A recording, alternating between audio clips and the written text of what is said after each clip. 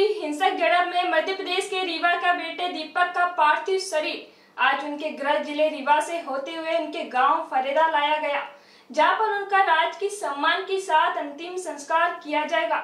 मध्य प्रदेश के मुख्यमंत्री शिवराज सिंह चौहान भी दीपक को श्रद्धांजलि देंगे। मैं जला हुआ राख नहीं अमर दीप हूँ, जो मिट गया वतन पर, मैं तो शहीद हूँ। लद्दाख के गालवन घाटी में हिंसक झड़प में शहीद हुए दीपक के सम्मान में, यही लाइन अब सबकी ज़ुबान पर है। इसके लिए जगह जगह पोस्टर और बैनर लगाए गए हैं बच्चों से लेकर, बुज़ुर्ग तक हाथों में भारतीय तिरंगा लेकर, दीपक के जयकारे के नारे लगा रहे हैं। मुख्यमंत्री शिवराज सिंह चौहान ने रीवा के जवान दीपक को श्रद्धांजलि दी है। साथ ही उनके परिवार को एक करोड़ रुपए की सम्मान निधि के साथ एक पक्का मकान और परिवार के एक सदस्य को सरकारी नौकरी देने का ऐलान किया है।